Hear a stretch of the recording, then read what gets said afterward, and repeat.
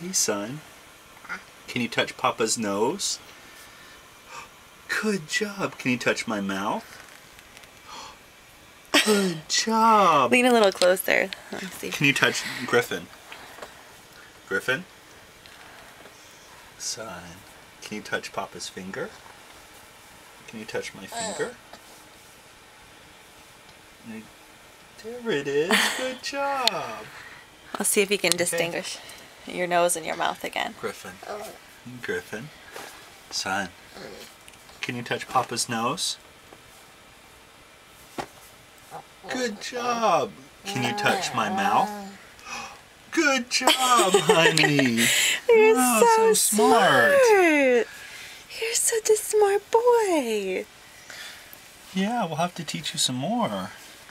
Touch, can you touch my finger? Uh. There we go. There we go. Good job.